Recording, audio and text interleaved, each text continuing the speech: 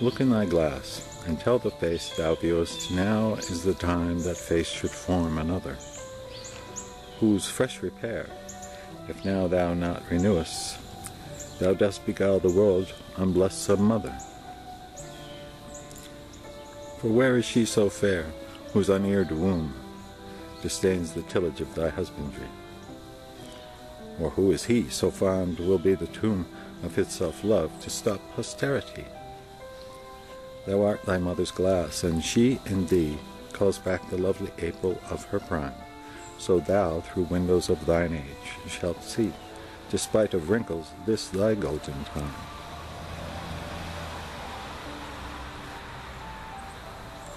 But if thou live remembered not to be, die single, and thine image dies with thee.